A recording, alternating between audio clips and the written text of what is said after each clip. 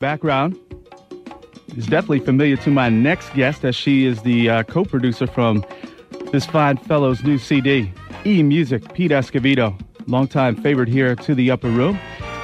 And my next guest, she's uh, just created so much great music over the years. I wanted to thank her first off by uh, giving myself and a lot of listeners out there just some great songs and great performances. She is world renowned drummer and percussionist Sheila E and she has a new album out, which is entitled Writes of Passage, which she recorded with her band, the E Train. And without further delay, we are going to welcome to the Upper Room with Joe Kelley, Sheila E. How you doing, Sheila? Fine. How are you? I'm doing great, and uh, about time the E Train got that that CD out. It's it's real nice and uh, long time coming, right? Yes, thank you. Yeah. now um, you're, you're working uh, on that album, Writes of Passage, with um, talented folks. Yes. One of uh, the guys who stopped by here a couple weeks ago, Mr. Eric Leeds. Great. And uh, what what was going on uh, with the E Train in the studio? Uh, well, at that particular time when we recorded the album, um, you know, we decided to do it. We recorded it at my home studio, and uh, at that time in Woodland Hills, and um, we had a, a, a really great time. You know, we we got all the guys together and um, I told him, you know, it'd take probably about a week, and we would take our time and, uh, you know, just chill and have a have a have a good time. And one of one of I think the uh, things you've done on this record, I don't correct me if I'm wrong, is that uh, you were definitely giving the spotlight to a lot of the people in your band, right? Oh, I always do. Mm-hmm. Yes. Some of your longtime collaborators, your your brothers in there, Peter Michael. Yeah. Yeah. Right. How, how's he doing? He's doing really good. Mm-hmm. He's doing uh, a lot of uh, producing actually, and uh, writing, and uh, doing some television, uh, uh, f- writing for television as well. So he's been uh, very active since he's moved down to Los Angeles as well. And uh, I heard something today. Someone sent me an email today. Is the family moving down to L.A.? Yes, they are. Yeah. They'll be moving here uh, Wednesday. Oh, Wednesday. Okay. You, Yeah. you gonna have a big welcoming party? Not yet. Not yet, right? I don't think they want anyone to know where they live, but we are going to have a, a huge party. But it'll it'll take a couple of weeks because it's going to take them at least that long to unpack all the percussion. Mm-hmm. So you're gonna uh, have some farewell performances up in uh, Northern California, right?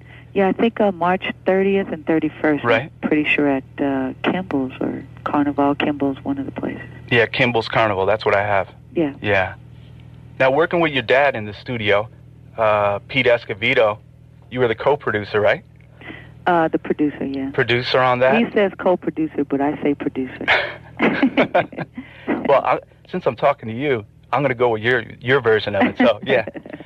Um, when you're working with your dad in the studio and giving him guidance, uh, how easy and how tough is it? Actually, it was very, very easy because, uh, you know, growing up listen, listening to my dad perform, uh, knowing what type of music he loves and who he is about as a musician and an entertainer, there wasn't really much for me to do. Um, I allowed him to be himself, and I think that's the the part of producing is being able to let the artists themselves shine in their own light and not have him, you know, record songs that really weren't a part of him or have him to sing songs that really didn't mean anything to him. Um, so, you know, he I, I thought he did a wonderful job. He had a great time. And um, he said to me, I mean, uh, which was, I think, really wonderful to hear from your dad, but uh, that it was the most fun he had had in years to be able to do an album like this because it was something he had always dreamed of. Wow, And, that's uh, high praise. Yeah, it was very, very nice for him to, to say that. Now, when uh, special. When your family gets together and uh, you're all virtuosos on, on the uh, percussion, do, does anybody in the family stand out in certain instruments? Um, well, the first thing what happens is because my dad plays timbales, congas, bongos, uh, we all play about the same, and he the only thing he doesn't play a lot of, which we all do, is drums. So the problem that we have is when he we get together and he puts a set list together for his band, we sit there arguing who's going to play what on what song because right. everyone wants to take a solo on this song on this instrument, and so we kind of have to discuss, you know, who's going to do what, and that's the funny part is sitting there listening to us figure out who's going to play what. Now, who usually wins out? I do. You do. I, I always like like uh, the portion of your show when you're with your family. You guys are knocking each other around. Yeah. On stage yeah. there. Yeah. Yeah. Verbally and physically, yes. yeah, right. you you want to get into a track off uh, Writes of Passage? Sure. You know, I got uh, In Perfect Time queued up, which is uh, also has a good friend of yours, Lynn Mabry, on that. Absolutely, yes. And uh, Lynn Mabry, of course, from uh, folks remember from the Funk days, Parliament Funkadelic. She's your business partner, right? Yes. Yeah. And my manager. And your manager. And we got to say thanks to Lynn for hooking us up together. Yes. And, uh, thank you. You working uh, with Renato on this one, right? Yes. Great keyboard player. Yes, he is excellent. Any E Train dates uh, possibly in the future? Uh, yes, possibly. Um, we're working on some things as we speak, and uh, it's just that it's been a little busy for me Mm-hmm. uh, being the leader because I also have five other groups as well as this Yeah. one. Yeah, we'll, we'll definitely get into talking about some of those. One, one of my uh, favorite groups, Fifth Element, Right. and uh, we'll talk more on what Sheila's got going on. She's uh, has a lot of projects, as you could probably guess. But first, we'll listen to uh, Sheila E. and the E Train. This is called In Perfect Time, right here on. That's music from my special guest this afternoon, Sheila E. And uh, that is the new single from her Writes of Passage release, and the single is called In Perfect Time. And we welcome once again to the Upper Room with Joe Kelley, Sheila E. And thanks for uh, staying around. I know it, it's awful tough, uh, you know, putting the interviews and also uh, studio work and various projects. So thank you so much. You're welcome. Thank you. Now we talked. Um, we were talking off air about uh, coming out to uh, New York City, and you were uh, at David Letterman for a whole week, right? Right. Now, right. what what was that like uh, sitting in with the band? Oh, I love sitting in with uh, Paul Shaffer Band. I think they're one of the best bands on television, actually. Mm-hmm. Um, it was a lot of fun. We were, I actually played the show on my birthday, so that was a treat for me. It was like December 12th, and um, we were only scheduled to do one night. And uh, after the show, Dave came up and said, you know, we got to have you the rest of the week. So we already had a week of press and, and uh, other television shows to do the Today Show, and we did a lot of magazine and print. So we had to reschedule, uh, change the schedule around, and which was great for me. And uh, we had a wonderful time. So we were there the entire week. And you got back to uh, L.A. and recovered a bit, right?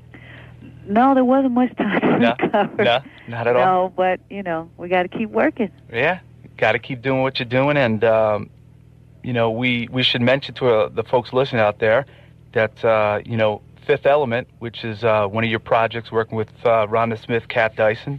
hmm You gonna get in the studio for that? Yeah, we're going to get in the studio very soon. I have uh, Rhonda Smith, Kat, Kathleen Dyson, Renato Neto, the same keyboard player. Also Eddie M playing sax Right. and singing, and Lynn Mabry on vocals, and myself playing drums.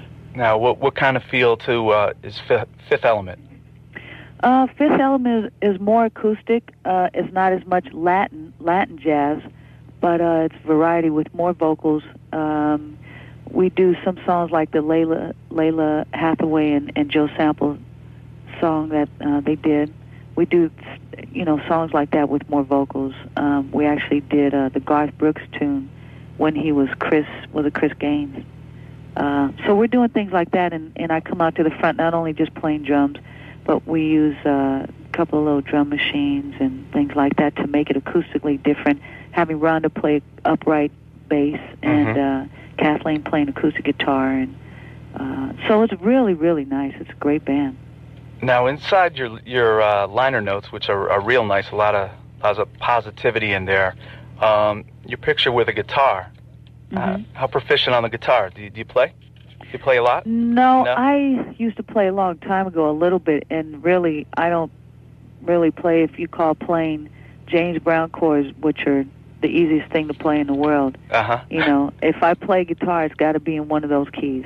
So, you know, it makes it fun. I mean, I love to play, you know, the James Brown chords. I can play that all day long. oh yeah. But uh, as far as anything else, you can forget about it. I leave it up to the g- other people. Oh, they're nice pictures though with the guitar though. Yeah. Thank you very much. Now, um, some of- some of your uh, great touring days were with uh, Prince back, uh, Sign of the Times, and Love Sexy. I wanted to know if um, you had any favorite uh, recordings you uh, you worked on in, in those Paisley Park days. Anything that comes to mind that you're really, really proud of? Uh, the the only thing that comes to mind that I really loved at one point in time, and it was at the very beginning when we did uh, like Dorothy Parker and Starfish and Coffee. Mm-hmm. That that meant and uh, Venus de Milo. Um, those three songs stick out a lot to me. Right. Yeah. How, how about tour wise? Any? Uh, did you have a favorite tour? Um. No, it was all really good. I mean, all my tours have been great with everyone. I've Right. learned so much from all the artists, from George Duke to Herbie Hancock to Billy Cobham. You know, I went on tour with Stephen Stills. I mean, the list goes on and on. So it's, it's. I've played probably every type of music except for maybe polka and country. I'm not sure. Jim, Jimmy Sturr isn't ringing up your phone? Nah. Not yet. Nah. Well, you know, you do a lot of work with the youth, uh, and you've done some drum clinics throughout the years. In fact, you did some in November, right? Yes, I did with uh, Alex Acuna. Are you finding the young kids uh, getting into uh, playing real instruments?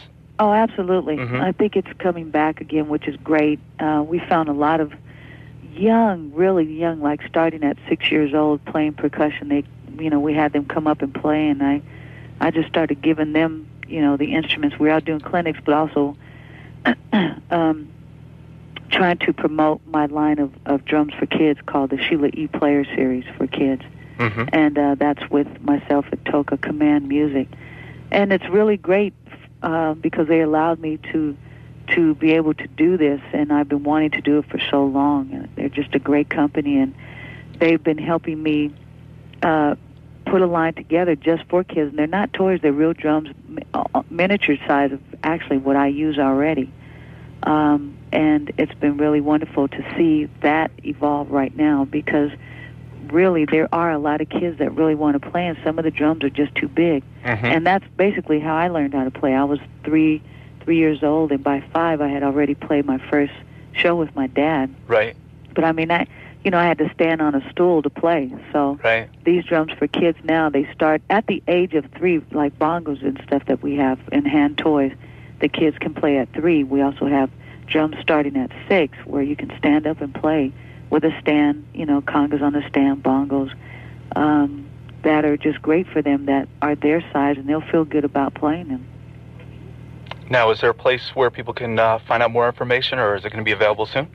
It, they're available in the music stores and if they don't have them you can ask them to order them which would be great if they don't that would get the stores to order them And that's the Toca percussion line for kids, right? yes Okay, It's called the Sheila E. Player Series.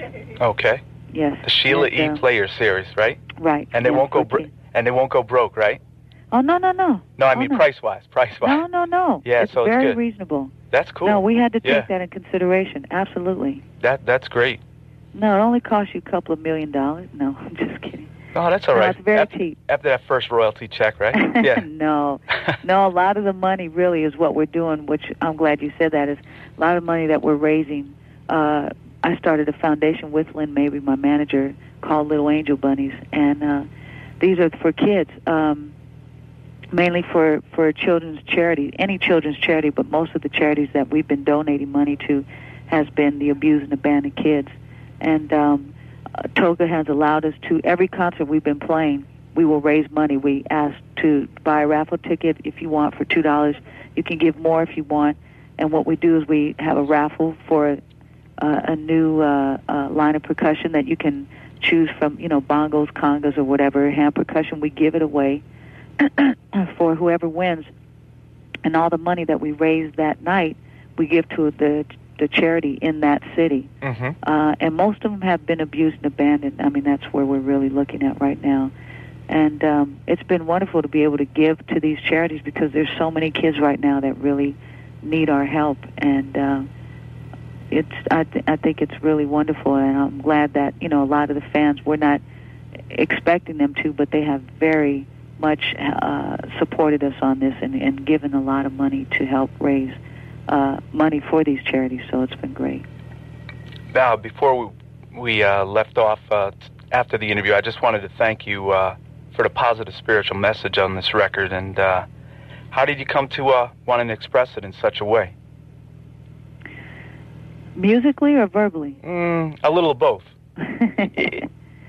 um, I don't know. There's just a peace inside right now, and, and I'm I'm very happy with with uh, all that I've done in my life, and that if I died today, you know, or tomorrow, that I know that I've done something really good, and um, you know, I have the Lord in my life, Jesus Christ, and He's saved me many, many times, every day Mm-hmm. and uh, I owe it all to Him. God gets the glory every day.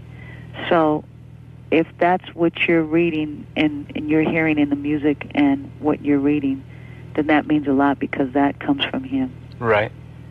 So nice words from Sheila E. And uh, she's given us, you know, from from the late. I got the album with you and your pops, uh, Cueros. Oh, great. That's one of my favorite tracks you guys did, and uh, Thank you. just continued uh, success. And sounds like you have a real nice team out in uh, California. And uh, Absolutely. when you come eastward with one of the bands, I know you got five bands, right? Right. Well, you'll have to stop by the studios. We're moving into new studios this summer, so. Uh, great. We would yeah. love to come by. And uh, how, how about another track? Uh, okay. I've got uh, Paragon, which I'm really digging the last couple of weeks. Great. This this was a band collaboration, right? Yes, it was. It actually happened spontaneously. We were uh, setting up the headphone mix, and everyone had their headphones, and we're getting sound. And uh, someone started playing one thing, I started playing another, and I said, "All right, hold on, turn the tape on." I said, "Let's record this and make it a song." So we did it in about 20 minutes. And it sounded real nice. The CD, Sheila E. and the E Train Writes of Passage. You could go to SheilaE.com or uh, you can go to the Concord Records site, which is the label uh, working on distribution for this and all the online ordering. So uh, it's